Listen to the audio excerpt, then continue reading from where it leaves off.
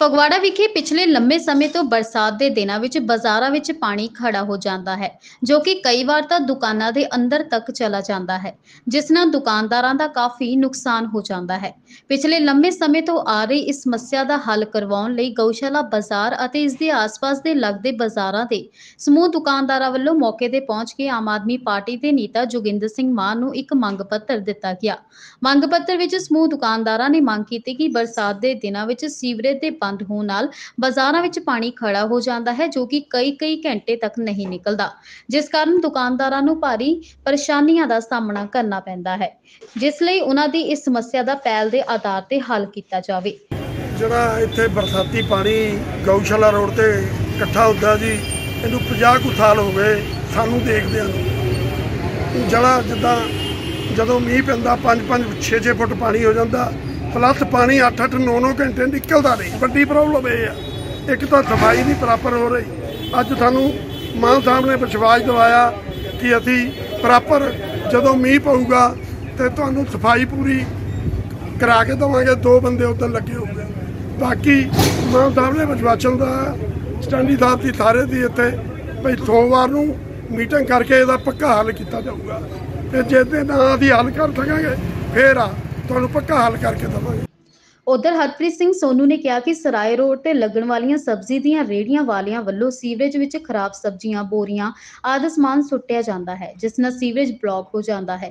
ਉਹਨਾਂ ਨਗਰ ਨਿਗਮ ਪਾਸੋਂ ਮੰਗ ਕੀਤੀ ਕਿ ਜਿੱਥੇ ਸੀਵਰੇਜ ਸਮੱਸਿਆ ਦਾ ਹੱਲ ਕੀਤਾ ਜਾਣਾ ਚਾਹੀਦਾ ਹੈ, ਉੱਥੇ ਯੁਕਤ ਰੇੜੀ ਵਾਲਿਆਂ ਨੂੰ ਵੀ ਸੀਵਰੇਜ ਵਿੱਚ ਸਮਾਨ ਸੁੱਟਣ ਤੋਂ ਰੋਕਿਆ ਜਾਵੇ। ਫਗਵਾੜਾ ਸ਼ਹਿਰ ਦੇ ਜਿਹੜਾ ਗਊਸ਼ਾਲਾ ਰੋਡ ਦੇ ਉੱਤੇ ਪਾਣੀ ਦੀ ਸਮੱਸਿਆ ਜੋ ਹਮੇਸ਼ਾ ਬਰਸਾਤਾਂ ਦੇ ਦਿਨਾਂ ਵਿੱਚ ਮਤਲਬ 50 ਸਾਲਾਂ ਤੋਂ ਵੀ ਪਹਿਲਾਂ ਦੀ ਹੈ, ਉਹਦਾ ਅੱਜ ਤੱਕ ਕੋਈ ਹੱਲ ਨਹੀਂ ਹੋਇਆ। ਇਸ ਵੇਲੇ ਅਸੀਂ ਖੜੇ ਆ ਸਟਾਰਚ ਮਿਲ ਦੇ ਉਸ ਗੇਟ ਦੇ ਅੱਗੇ ਜਿੱਥੇ ਕਿ ਸਰਾਏ ਰੋਡ ਦੇ ਉੱਤੇ ਸੈਂਕੜੇ ਰੇੜੀਆਂ ਲੱਗਦੀਆਂ ਸਬਜ਼ੀ ਦੀਆਂ। ਮੈਂ ਕੈਮਰਾ ਵਾਲੇ ਵੀਰ ਨੂੰ ਬੇਨਤੀ ਕਰਦਾ, ਇੱਧਰ ਜ਼ੂਮ ਕਰਕੇ ਦਿਖਾ ਲੈ ਸੈਂਕੜੇ ਦੀ ਤਦਾਦ ਦੇ ਵਿੱਚ ਇੱਥੇ ਸਬਜ਼ੀ ਦੀਆਂ ਭਰੀਆਂ ਬੋਰੀਆਂ ਰੇੜੀਆਂ ਵਾਲੇ ਸਿੱਟਦੇ ਆ, ਆਪਣੀਆਂ ਗੰਦੀਆਂ ਸਬਜ਼ੀਆਂ ਸਿੱਟਦੇ ਆ, ਬੈਂਕ ਨਾਲ ਜੋ ਰਜਾਈਆਂ ਤਲਾਈਆਂ, ਜੋ ਇਹਨਾਂ ਦੇ ਹੱਥੋਂ ਦਾ ਉਹ ਸਿੱਟਦੇ ਆ। ਮੈਂ ਪ੍ਰਸ਼ਾਸਨ ਨੂੰ ਕਹਿੰਦਾ, ਜਿੱਥੇ ਤੁਸੀਂ ਇਸ ਚੀਜ਼ ਦਾ ਢੁਕਮਾ ਹੱਲ ਕਰਾਉਣਾ ਨਾ ਰੇੜੀਆਂ ਵਾਲਿਆਂ ਨੂੰ ਵੀ ਨੱਥ ਪਾਈ ਜਾਵੇ, ਤਾਂ ਜੋ ਇੱਥੇ ਗੰਦਾ ਕੋਈ ਵੀ ਸਮਾਨ ਨਾ ਸੱਟਿਆ ਜਾਵੇ, ਜਿਹੜਾ ਕਿ ਬਲੋਕੇਜ ਦਾ ਕਾਰਨ ਬਣਦਾ। ਦੁਕਾਨਦਾਰਾਂ ਦੀ ਸਮੱਸਿਆ ਨੂੰ ਦੇਖਦੇ ਹੋਏ ਨਗਰ ਨਿਗਮ ਸੀਵਰੇਜ ਬੋਰਡ ਦੇ ਅਧਿਕਾਰੀ ਪ੍ਰਦੀਪ ਚੋਟਾਨੀ ਮੌਕੇ ਤੇ ਪਹੁੰਚੇ ਤੇ ਮੁਲਾਜ਼ਮਾਂ ਨੂੰ ਨਾਲ ਲੈ ਕੇ ਸੀਵਰੇਜ ਚੈੱਕ ਕਰਵਾਏ ਗਏ। ਤਾਂ ਦੇਖਿਆ ਕਿ ਸੀਵਰੇਜ ਵਿੱਚ ਜ਼ਿਆਦਾਤਰ ਪਲਾਸਟਿਕ ਦੇ ਲਿਫਾਫੇ, ਬੋਤਲਾਂ ਕਾਫੀ ਵੱਡੀ ਮਾਤਰਾ ਵਿੱਚ ਪਾਈਆਂ ਗਈਆਂ। ਜਿਸ ਨਾਲ ਪਾਣੀ ਦੀ ਨਿਕਾਸੀ ਰੁਕੀ ਹੋਈ ਸੀ। ਗੱਲਬਾਤ ਕਰਦੇ ਹੋਏ ਪ੍ਰਦੀਪ ਚੋਟਾਨੀ ਨੇ ਕਿਹਾ ਕਿ ਫਿਲਹਾਲ ਉਹਨਾਂ ਵੱਲੋਂ ਬਾਜ਼ਾਰ ਵਿੱਚ ਪੱਕੇ ਮੁਲਾਜ਼ਮਾਂ ਦੀ ਡਿਊਟੀ ਲਗਾ ਦਿੱਤੀ ਗਈ ਹੈ, ਜੋ ਕਿ ਸੀਵਰੇਜ ਦੇ ਸਮੇਂ-ਸਮੇਂ ਤੇ ਸਫ਼ਾਈ ਕਰਦੇ ਰਹਿਣਗੇ। ਪਾਣੀ ਦੀ ਨਿਕਾਸੀ ਦੀ ਸਮੱਸਿਆ ਸੀਗੀ ਤੇ ਮੌਕੇ ਦੁਕਾਨਦਾਰਾਂ ਨਾਲ ਮੌਕਾ ਦੇਖਿਆ। ਮੈਕਸਿਮਮ ਲਿਫਾਫੇ ਦੀ ਬਹੁਤ ਜ਼ਿਆਦਾ ਪ੍ਰੋਬਲਮ ਹੈ, ਉਹਨਾਂ ਨੂੰ ਵੀ ਦੱਸਿਆ ਤੇ ਉਹ 'ਚ ਸਹਿਯੋਗ ਕਰਨ ਲਈ ਕਿਹਾ। ਥੋੜੀ ਦੇਰ ਪਹਿਲਾਂ ਹੀ ਘੰਟੇ ਪਹਿਲਾਂ ਸਫ਼ਾਈ ਕਰਾਈ ਹੈ। ਉਸ ਤੋਂ ਬਾਅਦ ਫੁੱਲ ਬੋਤਲਾਂ ਆ ਰਹੀਆਂ। ਲਿਫਾਫਾ ਆ ਰਿਹਾ ਹੈ ਕਰਕੇ ਆਪਾਂ ਸਿੱਧਾ ਦੇ ਉਹਨਾਂ ਨੂੰ ਦਿਖਾਇਆ ਵੀ ਦੁਕਾਨਦਾਰਾਂ ਨੂੰ ਸਹਿਯੋਗ ਦੀ ਅਪੀਲ ਕੀਤੀ ਫਿਰ ਇੱਥੇ ਪਰਮਾਨੈਂਟ ਬੰਦੇ ਦੀ ਡਿਊਟੀ ਲਗਾ ਰਹੇ ਹੈ ਕਿ ਨਾਲ ਦੀ ਨਾਲ ਸਫ਼ਾਈ ਵੀ ਕਰੀ ਜਾਏਗਾ ਤੇ ਹੋਪਫੁਲੀ ਕਿ ਅੱਗੇ ਤੋਂ ਪਾਣੀ ਪਾਣੀ ਦੀ ਡਿਸਪੋਜ਼ਲ ਜਲਦੀ ਹੋ ਜਾਏਗੀ ਸਰ ਪੋਲੀਥੀਨ ਵਗੈਰਾ ਤਾਂ ਬੰਦ ਹੋ ਗਏ ਆ। ਪੋਲੀਥੀਨ ਬੰਦ ਹੋ ਗਿਆ ਪੁਰਾਣਾ ਜਿਹੜਾ ਚੱਲਦਾ ਜੋ ਉਹ ਚੱਲਦਾ ਆ ਰਿਹਾ ਬੋਤਲਾਂ ਆ ਰਹੀਆਂ ਨੇ ਉਹ ਕਰਕੇ ਉਹਦੀ ਵੀ ਰਿਕੁਐਸਟ ਕਰਦੇ ਹਾਂ ਕਿ ਇੱਥੇ ਚੈਕਿੰਗ ਵੀ ਕਰਾਈ ਜਾਏ। ਇਸ ਦੌਰਾਨ ਮੌਕੇ ਤੇ ਪਹੁੰਚੇ ਆਮ ਆਦਮੀ ਪਾਰਟੀ ਦੇ ਨੇਤਾ ਜੋਗਿੰਦਰ ਸਿੰਘ ਮਾਨ ਨੇ ਜਿੱਥੇ ਸਮੂਹ ਦੁਕਾਨਦਾਰਾਂ ਨੂੰ ਜਲਦ ਇਸ ਸਮੱਸਿਆ ਦੇ ਹੱਲ ਕਰਨ ਦਾ ਭਰੋਸਾ ਦਿੱਤਾ। ਉੱਥੇ ਉਹਨਾਂ ਦੱਸਿਆ ਕਿ ਸੋਮਵਾਰ ਨੂੰ ਇਸ ਸੰਬੰਧੀ ਨਗਰ ਨਿਗਮ ਕਮਿਸ਼ਨਰ ਨਾਲ ਮੀਟਿੰਗ ਰੱਖੀ ਗਈ ਹੈ ਜਿਸ ਵਿੱਚ ਇਸ ਦਾ ਹੱਲ ਕਰਨ ਦਾ ਪੱਕਾ ਪ੍ਰਬੰਧ ਕੀਤਾ ਜਾਵੇਗਾ।